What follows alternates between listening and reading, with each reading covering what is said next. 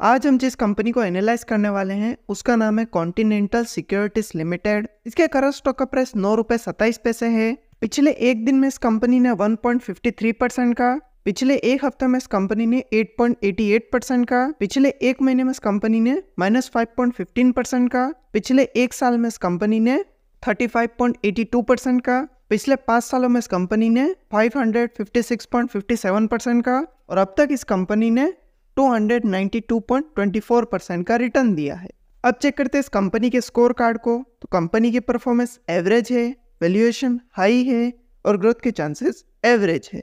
Company का market cap 21.2 crore का है पीई रेशियो 29.9 परसेंट का है, R O C eleven percent का है, आर ओ एट परसेंट का है और कंपनी पर 5 लाख का डेप्ट है। कंपनी का रेवेन्यू 2015 में था 42 लाख जो कि बढ़कर 2023 में हो गया, one crore twenty five lakh. अगर इस कंपनी के ओवरऑल रेवेन्यू को देखें तो कंपनी का रेवेन्यू हर साल बढ़ रहा है। कंपनी की नेट इनकम 2015 में थी ज़ीरो रुपीज़ की, जो कि बढ़कर 2023 में हो गई है 62 लाख की। अगर इस कंपनी के ओवरऑल नेट इनकम को देखें तो कंपनी की नेट इनकम हर साल बढ़ रही है। कंपनी की सेल्स की बात करें तो 2015 में इस कंपनी की सेल थी 42 लाख की, जो कि बढ़कर 2023 में हो गई वन करोड़ 25 लाख की।